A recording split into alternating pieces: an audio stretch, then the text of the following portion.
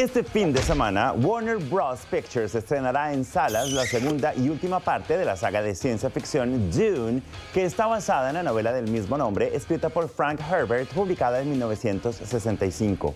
Esta interpretación de la historia tuvo como director al canadiense Denis Villeneuve. La trama nos lleva a un futuro lejano y tiene como personaje central a Paul Atreides, quien al lado de su familia, la noble casa de Atreides, debe liderar una guerra en el peligroso planeta Arrakis. En esta segunda entrega, Paul se une a los Fremen en la lucha contra la casa Harkonnen. El elenco de Dune Part 2 está compuesto por Timothy Chalamet, Zendaya, Rebecca Ferguson, Josh Brolin, Dave Bautista, la legendaria Charlotte Rampling y Javier Bardem, entre ellos, um, otros más.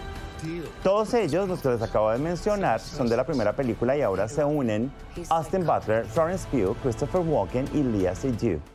Nueva York fue el punto de cierre para una gira internacional de premieres que llevaron al talento del film a Londres, París, Tokio, México y Seúl. En la alfombra arena que tuvo lugar en la plaza principal del centro Lincoln, hablé con algunos de ellos, comenzando con el compositor alemán doble ganador del Oscar y cuatro Grammys, Hans Zimmer. Bien.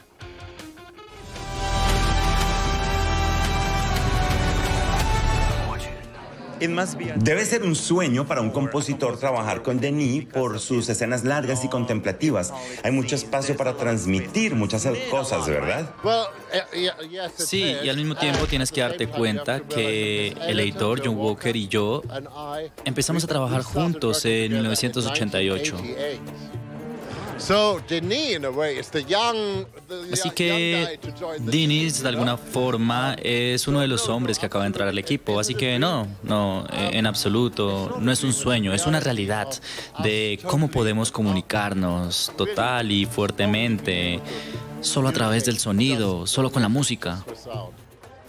La forma en la que empezamos a trabajar en realidad fue porque él me mostró una película y yo no tenía ningún diálogo y empiezo a rezar y bueno, después de unos minutos él me dijo, eso es exactamente lo que yo necesito, ¿sabes?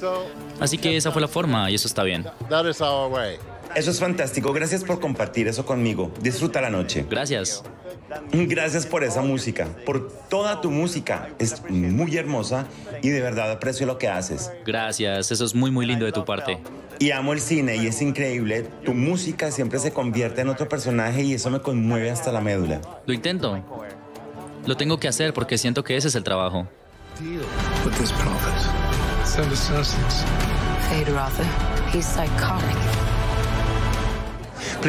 Por favor, háblame de la experiencia de trabajar con Denis. En primer lugar, quiero decir que es uno de los mejores directores con los que he trabajado.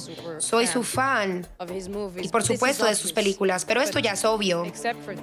Pero él es tan amable, tan respetuoso y él y lo que más me gusta de él cuando está en set es que parece como un niño porque parece que le encanta su trabajo.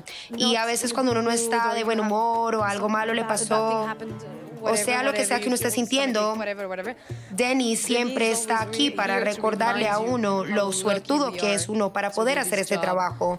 y la suerte que tenemos de poder estar en este set en Jordania, en este hermoso lugar actuando y haciendo una película y él es tan alegre y todo ha resultado maravillosamente por él. ¿Hubo algo específico para ti que facilitara como artista que pudieras meterte en este universo? No lo hice. No lo hice porque... Exactamente, es una muy buena pregunta. Y tengo mi respuesta en francés, lo siento, solo intento traducir lo que quiero decir. No, no, no, lo intentaré, lo intentaré. Así que lo que me encanta, porque yo realmente no soy una fan de la ciencia ficción, seré honesta, no soy una fan de la ciencia ficción. Lo soy ahora, lo soy ahora. Solo quiero resaltar eso. Lo soy ahora por seguro.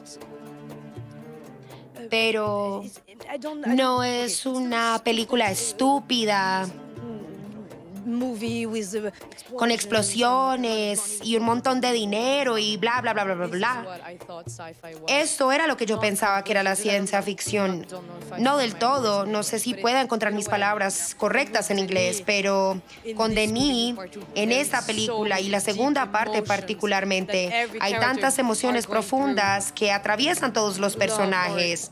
Problemas amorosos, problemas familiares. El papá, incluso durante la primera parte, la relación entre Oscar e Isaac y yo, la verdadera relación entre padre e hijo en este tipo de películas es real y profundas. Y me hizo llorar. Lloré.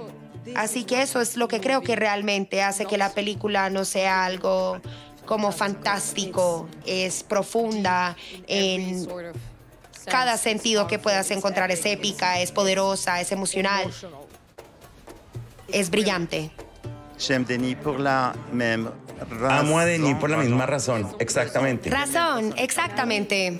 Pero sí, Denis Villeneuve ha creado una cosa que es mucho más, que busca Un gran artista. que el espectador encuentre más, exactamente. Es un gran, gran artista. Es un placer hablar contigo, muchas gracias. Muchísimas gracias a ti, gracias a ti. Un placer conocerte.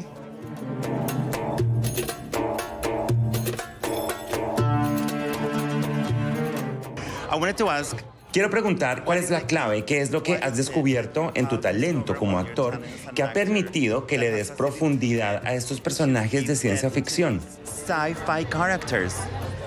Um, No sé si tenga algo que ver con lo que yo he descubierto como actor en mí mismo, pero era algo que yo estaba buscando. Siempre quise interpretar a personajes interesantes y no vienen usualmente como yo los espero, porque usualmente tengo que luchar por ellos y buscar a los directores que siento que pueden sacar lo mejor de mí. Uh, Así que tenía un fuerte deseo de ser un gran actor. Y solo puedo lograrlo si tengo a alguien que me está liderando y facilitándome las herramientas para lograrlo. Uh, otherwise, De lo contrario, estaría interpretando personajes genéricos que no tendrían mucho nivel, así que busco estos personajes para desarrollar mis habilidades de actuación. Y con Denis, que es alguien que le pone tanta emoción aún a este género, es increíble. ¿Cómo fue trabajar con él? Asombroso. Esta es mi tercera experiencia trabajando con él. Desde nuestra primera experiencia en Blade Runner 2049. 2049. He just brought out Él sacó lo mejor de mí, me hizo relucir y me hizo pensar en detalles de otro modo que nunca lo había pensado. Sobre cómo camino, sobre algunos pequeños detalles. Pero él estuvo muy inmerso en mi personaje y en cómo yo lo iba a interpretar. Y me hace sentir muy validado porque realmente invierte su tiempo en mí. Y eso significa mucho para mí, eso es todo para mí.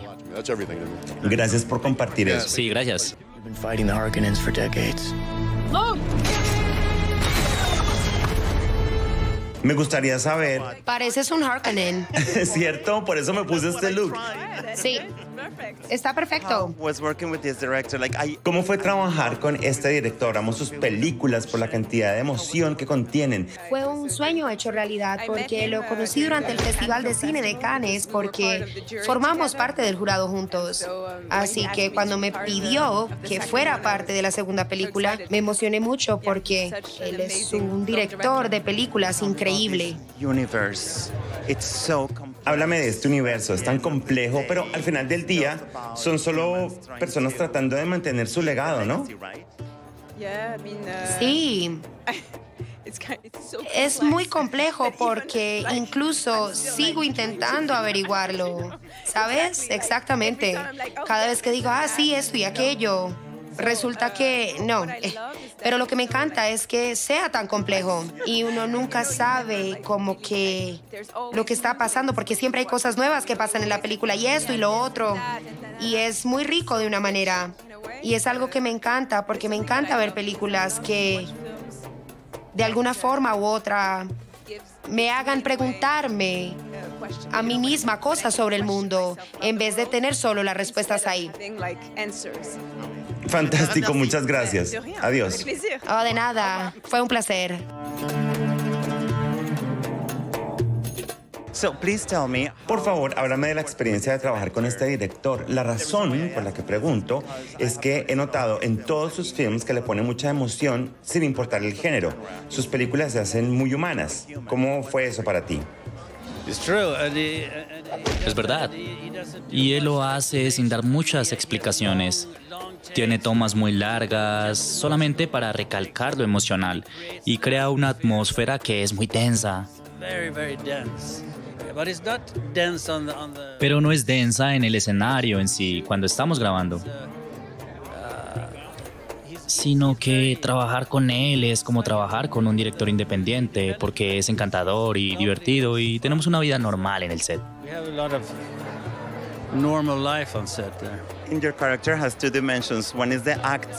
Tu personaje tiene dos dimensiones. Una es el actor y lo otro es lo que le rodea el vestuario. Lo hace tan miedoso ¿Cómo fue meterte ahí y cuánto contribuyó en tu creación del personaje?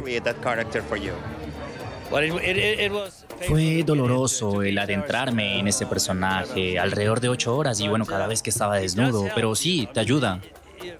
El disfraz es un obstáculo que tienes que superar, pero una vez lo logras, te ayuda. Logras hacerlo de una forma diferente. El efecto es totalmente maravilloso. Gracias. Es un placer hablar contigo. Muchas gracias.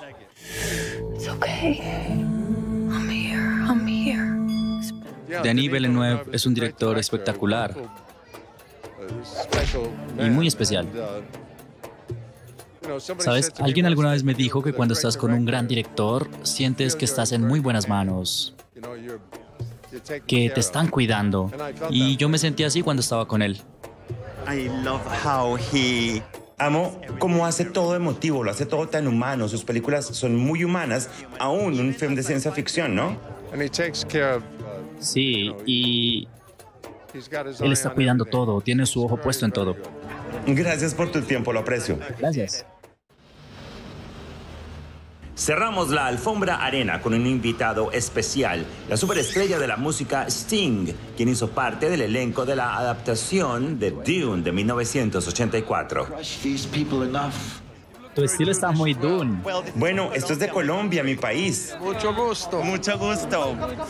No olvido mi fragilidad. Um, es muy chévere que estés aquí porque obviamente, Dune, asociamos la película contigo. ¿Cuán importante es para ti estar aquí y ser parte de esta reinvención? Oh, it's so exciting. I saw the first installment. Es muy emocionante porque yo vi la primera entrega y me encantó. Así que estoy deseando ver a Austin interpretar el papel que yo interpreté hace 40 años en Churubusco, en Ciudad de México. Y eso será muy emocionante para mí.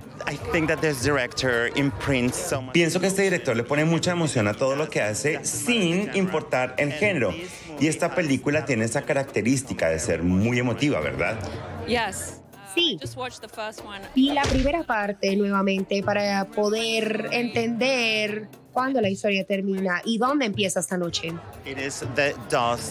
Hay una sustancia en el film que mueve el universo. Es la cosa más cara y la más rara que hay. Y pienso que sabemos cuál es, en nuestro mundo, la cosa más exquisita. Es la música. Muchas gracias. Gracias. Chao.